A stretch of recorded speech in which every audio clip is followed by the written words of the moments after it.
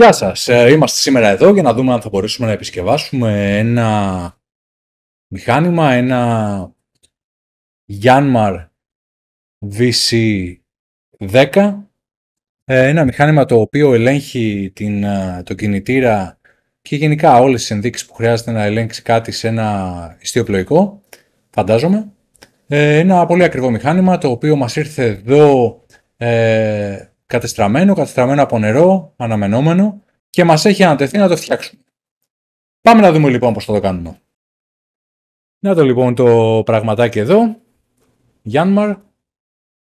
Βλέπετε τα κουμπάκια του, το έχουμε λύσει, έχουμε βγάλει την ε, πρόσωψή του.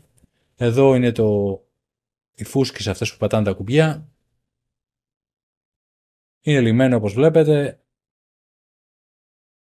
αυτή, αυτό είναι το πληκτρολόγιο. Βλέπετε τη σκουριά που έχει το πληκτρολόγιο. Εδώ τα χάλια τα μαύρα από το νερό που έχει μπει μέσα. Θα το δείτε και από κοντά. Θα δείτε ότι υπάρχουν ήδη σκουριές πάνω στον πάγκο μου. Νάτες. Σκουριά από το μέταλλο, αυτό που προστατεύει λοιπόν και καλά κάνει και το προστατεύει γιατί αν δεν υπήρχε αυτό θα είχε γίνει σκόνη όλη η πλακέτα. Ας ξύσουμε και εμείς λίγο εδώ να φύγει παρακάτω ό,τι έχει απομείνει. Αυτό λοιπόν συνδέεται με την κεντρική πλακέτα με ένα flex cable το οποίο τώρα θα αφαιρέσουμε σιγά σιγά.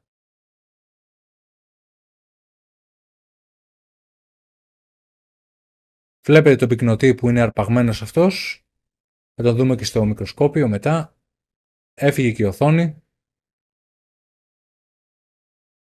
Θα δούμε λοιπόν τι μπορούμε να κάνουμε με το κύκλωμα αυτό.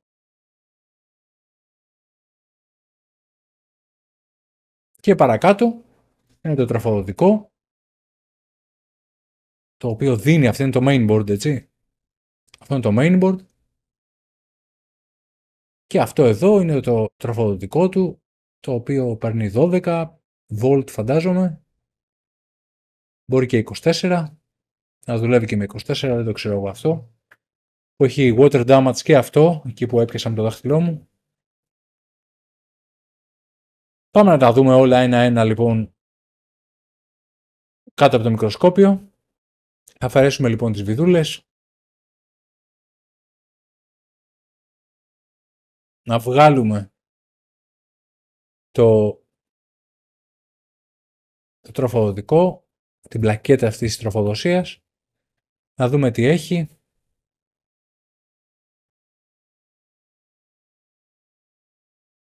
Και να δούμε λοιπόν πώς θα το φτιάξουμε. Να λοιπόν η πλακέτα τροφοδοσίας βλέπετε ίχνη από νερό, ίχνη σκουριάς, κατεστραμμένα πράγματα, κατεστραμμένοι διάδρομοι. Αυτό λοιπόν είναι ένα ποινίο διπλό δεξιά, το L10, το οποίο από ό,τι βλέπω παίρνει γύρωση και main rail μαζί. Θα το δούμε. Πάμε να δούμε λοιπόν τι ζημιά έχει γίνει σε αυτό. Και να δούμε πώς θα το φτιάξουμε. Υπάρχει λοιπόν ένας μεταξύ των δύο πυκνοτών. Δεν υπάρχει κάποιο βραχικύκλωμα εδώ.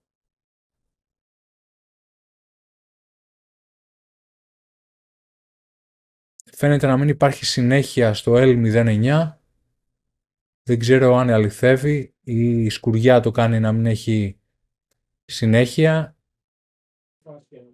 Αυτό είναι το ποινίο το οποίο τροφοδοτεί ουσιαστικά το mainboard πάνω με αυτή την τον connector εδώ στα αριστερά. Προσπαθώ να καταλάβω αν έρχεται το main rail πάνω στο L09 ε, σίγουρα πρέπει να φτιάξουμε αυτές τις, ε, αυτά τα pins στον connector γιατί σίγουρα έχουν διαβρωθεί.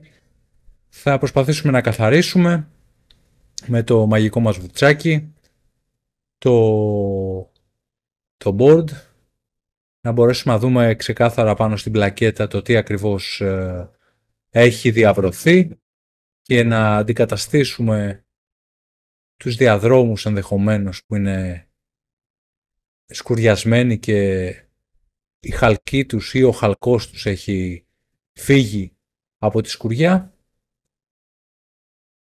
Καθαρίζουμε καλά. Σκοπός μας είναι να δούμε τι λείπει.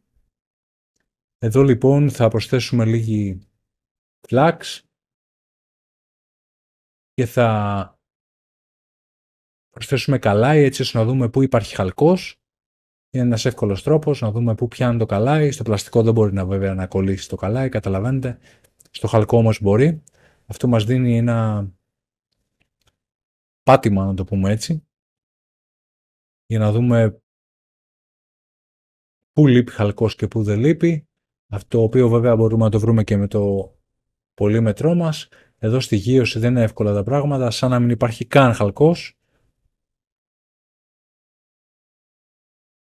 Αυτό θα αφαιρεθεί προφανώς, απλά προσπαθούμε να δούμε εάν θα αποκαταστήσουμε και αυτό το rail, αυτό το pad τέλος πάντων που φιλοξενεί αυτόν τον διαβρωμένο πυκνοτή, αν θα χρειαστεί αποκατάσταση. Το πάνω μέρος του είναι το main rail, το κάτω μέρος του είναι η γύρωση, όπως πάντα, στους πυκνοτές φιλτραρίσματος. Αυτό το, αυτός ο διάδρομος πάει εκεί, σε αυτό το pin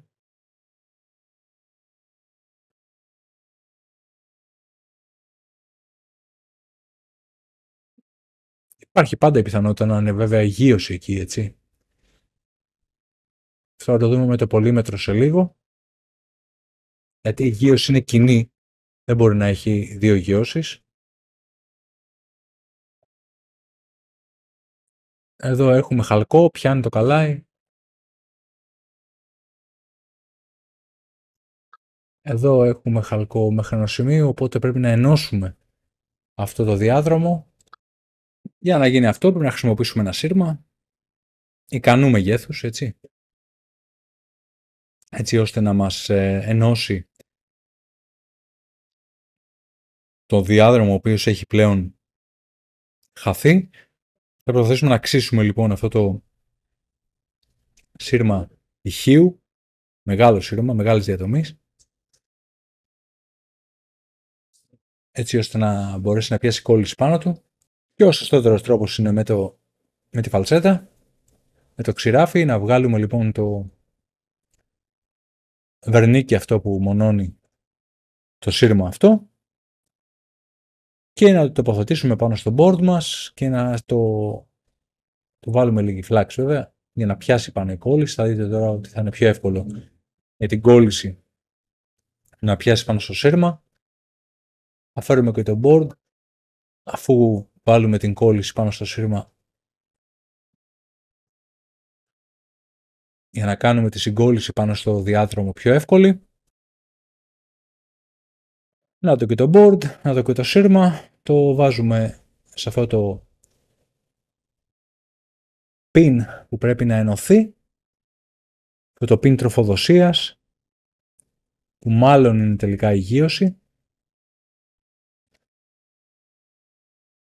και όταν τοποθετήσουμε με το καλό θα πρέπει να το συγκολλήσουμε, το κρατήσουμε τη λαβίδα μας, πιο σωστός τρόπος,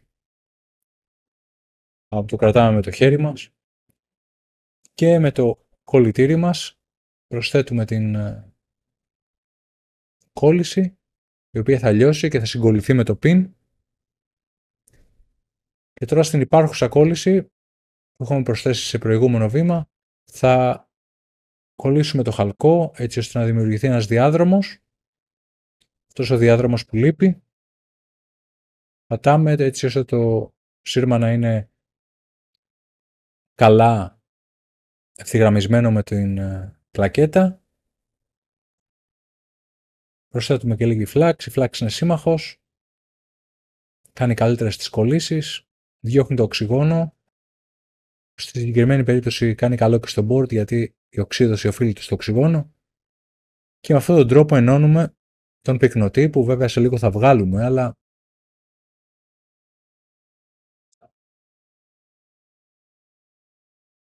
ας δημιουργήσουμε πρώτα τον διάδρομο τελευταίες πινελιές Τώρα θα κόψουμε με το ξηράφι.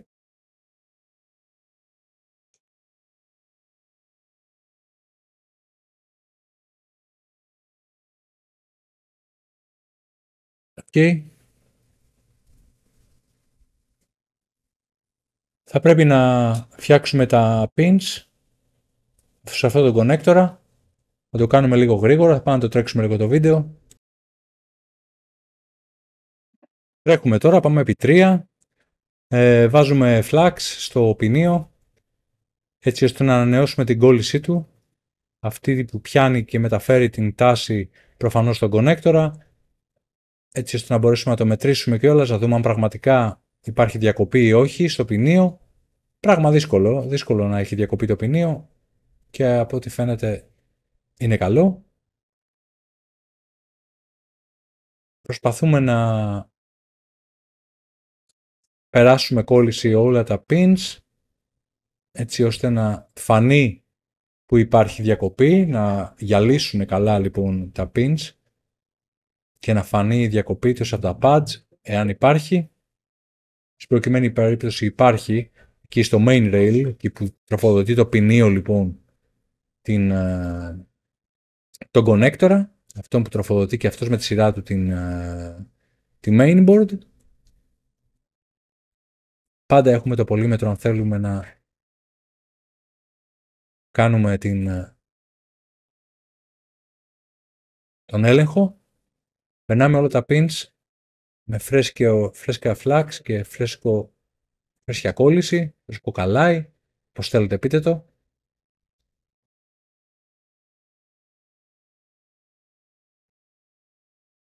Και πιστεύουμε ότι αυτή η πλευρά είναι εντάξει.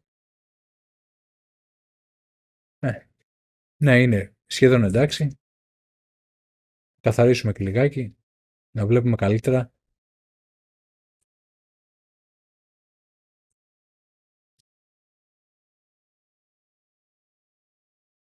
Συνεχίζουμε λοιπόν εκεί που έχουμε το πρόβλημα. Όπως θα δείτε, θα δείτε πως οι...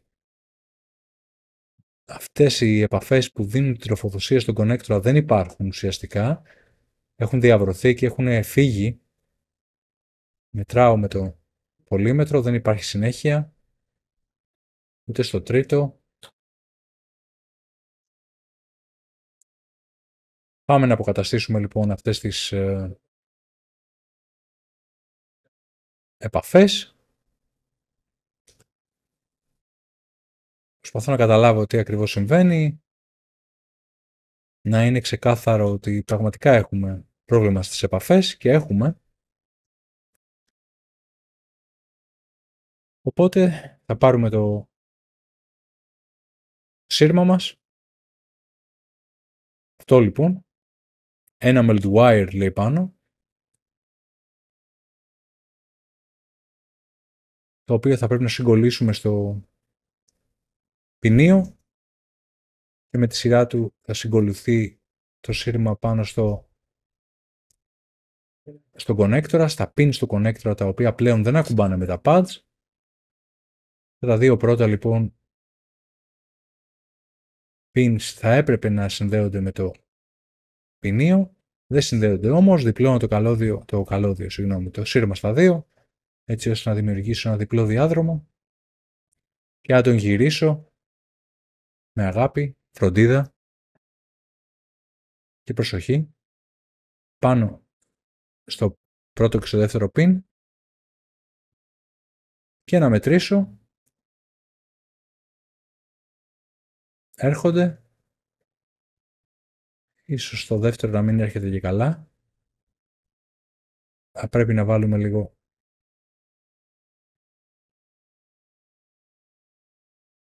κόλληση παραπάνω.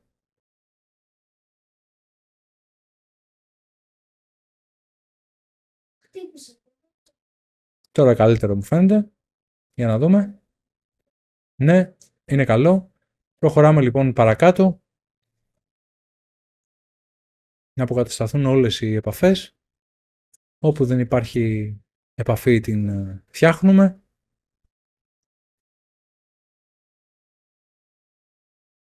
Και πάμε και την άλλη πλευρά. Θα πρέπει να μετρήσουμε και την άλλη πλευρά. Αλλά ας αποκαταστήσουμε πρώτα την επαφή που δεν υπάρχει. Με τον ίδιο τρόπο. Τρίτο pin. Με το pad που είναι ένα χιλιοστό του χιλιοστού παρακάτω δεν πατάει, οπότε το, το κολλήσαμε και το κόβουμε. Θα το μετρήσουμε άλλη μια φορά. Και είναι καλό.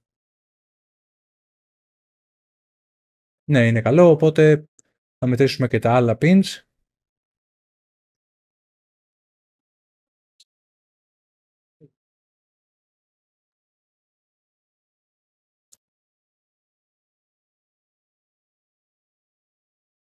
Όλα φαίνονται μέχρι στιγμής καλά.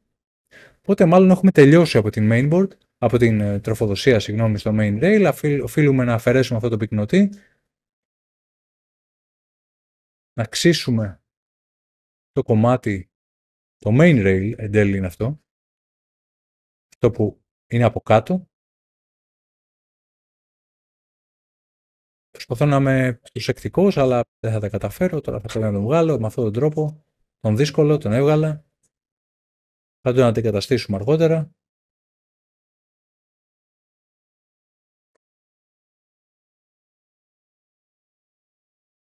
Δεν ενώνεται ο πυκνοτής με όλο το pad. Είναι αυτό το rail, αλλά υπάρχει διακοπή εκεί. Οπότε πρέπει να την αποκαταστήσουμε. Θα την αποκαταστήσουμε με τον ίδιο τρόπο προσθέτοντας κόλληση προσπαθούμε να ενεργοποιήσουμε πάλι το σύρμα αυτό έτσι ώστε να δεχτεί την κόλληση προσπαθούμε να ενεργοποιήσουμε και το διάδρομο έτσι ώστε να ξαναγίνει διάδρομος προσθέτοντας κόλληση. Καθαρίζουμε.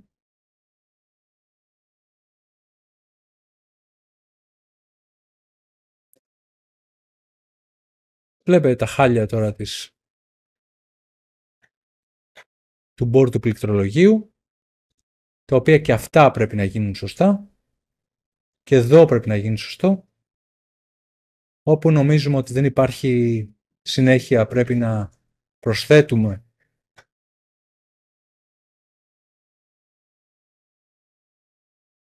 χαλκό. Αυτό εδώ δεν υπάρχει. Δεν βλέπετε πολύ καλά, αλλά θα δείτε σε λίγο. Θα αφαιρέσει αυτό το... αυτή την αντίσταση. Βλέπετε πόσο αφαιρεί τη σκουριά η φλάξ με το κολλητήρι. Αυτό λοιπόν το κομμάτι εδώ λογικά περνάει από την τρύπα και συνδέεται στο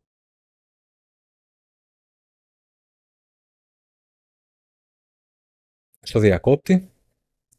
Καλό να το αποκαταστήσουμε. Γιατί βλέπετε υπάρχει μια έλλειψη χαλκού εκεί, οπότε σίγουρα έχει κοπεί και η διαδρομή προς, την, προς το διακόπτη, το switch 3. Πάμε λοιπόν να περάσουμε από την τρύπα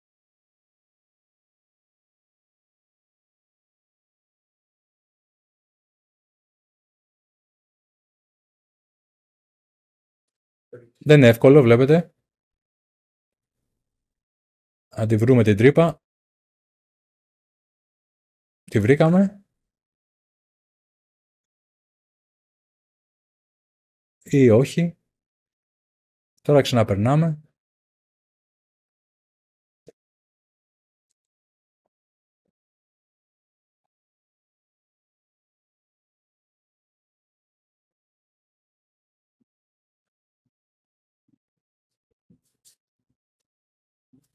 Δεν είναι δύσκολο, αλλά είναι δύσκολο όταν υπάρχει μέσα σκουριά, όπως καταλάβατε ότι υπάρχει και δεν αφήνει το σύρμα να περάσει.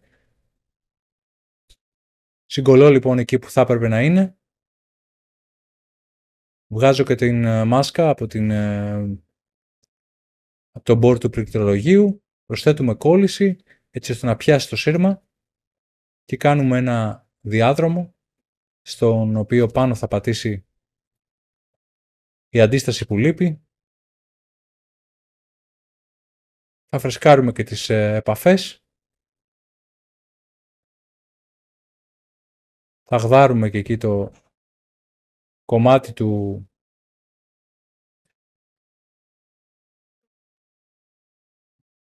του board μήπως φανεί χαλκός και το πατήσουμε, ελέγχουμε πού έχουμε γύρωση, ελέγχουμε τι θα ενώσουμε, δέρνουμε το καλώδιο και το κολλάμε εκεί που θα έπρεπε να είναι.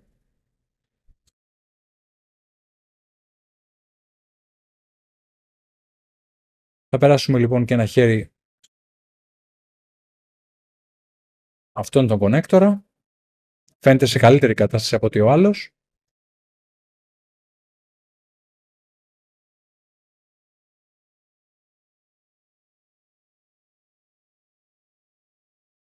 θα πρέπει να δούμε ότι υπάρχει συνέχεια στις αντιστάσεις πάνω στον κονέκτορα και αν δεν υπάρχει να τις αποκαταστήσουμε. Θα πρέπει να αντικαταστήσουμε την ε, αντίσταση η οποία αυτή έχει χαλάσει. Να, η αντίσταση είναι λίγο μεγαλύτερη. Άρθει τώρα, να τη, έχουμε βρει. Είναι λίγο μεγαλύτερη σε ohm αλλά επειδή ουσιαστικά κάνει κάποιο pull-up δεν μας πολύ ενδιαφέρει, θα κάνει το pull-up, θα κάνει τη δουλειά της.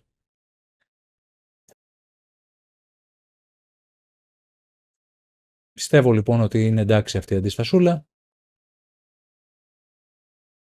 Καθαρίζουμε. Ο καλύτερος τρόπος να καθαρίσουμε με το κολλητήριο μας, να βγάλουμε την σκουριά. Μετά από όλα αυτά θα περάσει και από ultrasonic Βέβαια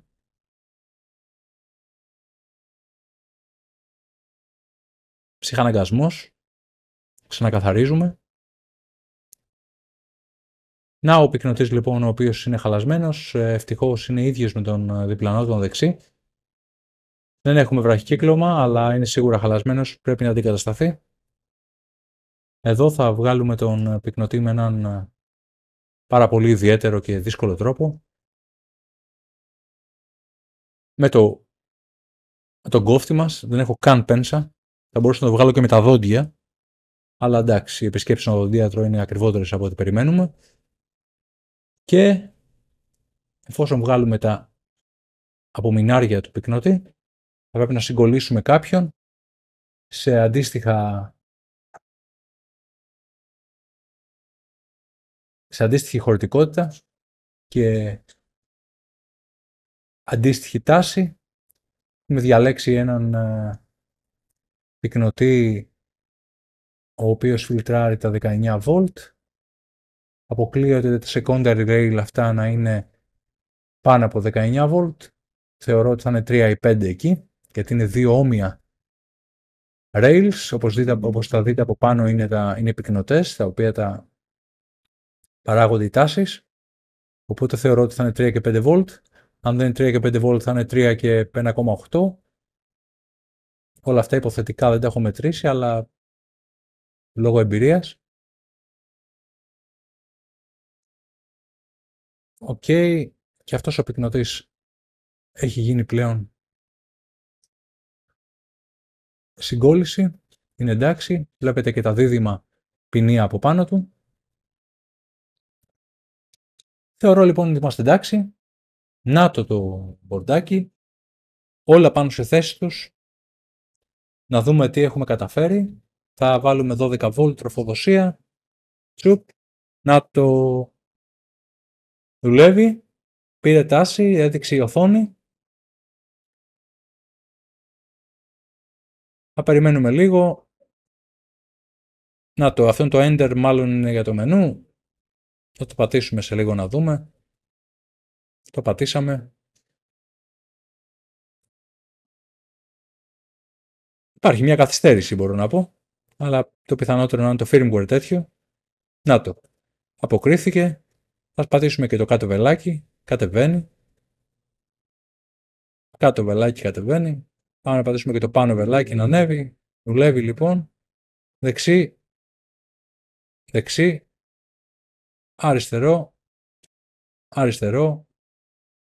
Enter, ανοίγει, πίσω.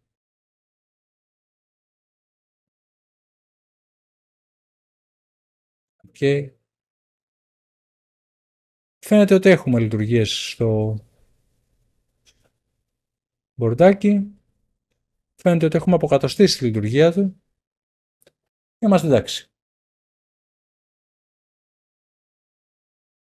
Αυτή ήταν λοιπόν η επισκευή όπως την είδατε. Αν σας άρεσε το βίντεο παρακαλώ εγγραφείτε, κάντε like, κάντε share, βοηθήστε μας να μεγαλώσουμε. Σας ευχαριστούμε πολύ που μας παρακολουθήσατε. Θα τα πούμε σε μια επόμενη επισκευή. Γεια σας.